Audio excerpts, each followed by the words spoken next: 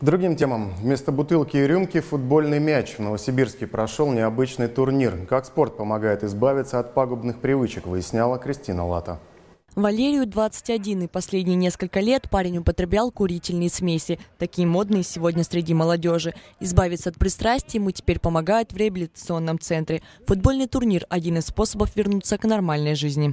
Конечно, помогает. Здесь как бы сплочаются ребята, как бы, как бы мысли даже у людей направлены на спорт – принципе, это один из выходов, я считаю, из, ну, из, там, из зависимости. Спорт очень сильно помогает. С кромки поля за своими подопечными наблюдает отец Андрей. Священник хотел сам принять участие в матче, но помешала травма колена. Приходится помогать лишь словом. Кстати, идея подобных соревнований принадлежит именно ему. Теперь отец Андрей и капитан, и духовный наставник команды.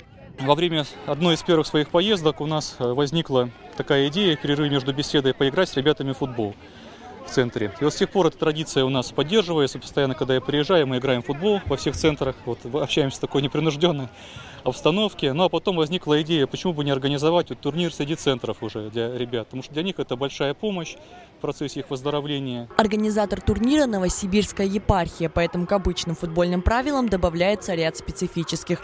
Так, перед началом соревнований коллективная молитва, а желтые карточки даются не только за опасный подкат, но и нецензурную брань. Как отмечают сами организаторы, приобщить людей к православию – одна из главных целей турнира. Этот турнир, мы на нем знакомимся с ребятами.